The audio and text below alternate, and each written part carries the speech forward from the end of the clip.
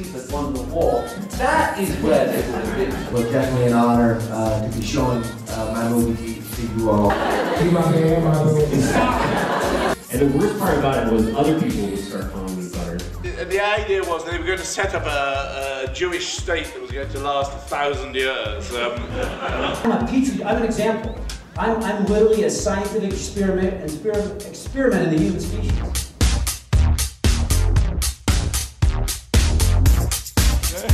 Who's Gustave H? I'm afraid that's me, Donnie. Look at me in my eyes and promise. I promise no drama, Alexandra. Never give up the fight.